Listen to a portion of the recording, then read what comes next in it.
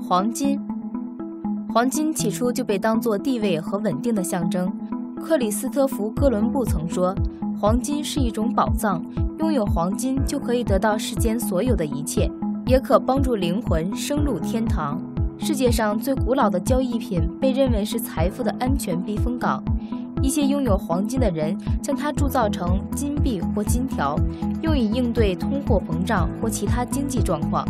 黄金的购买价格除了能够受到美元币值的影响之外，还可以受到央行黄金储量的影响。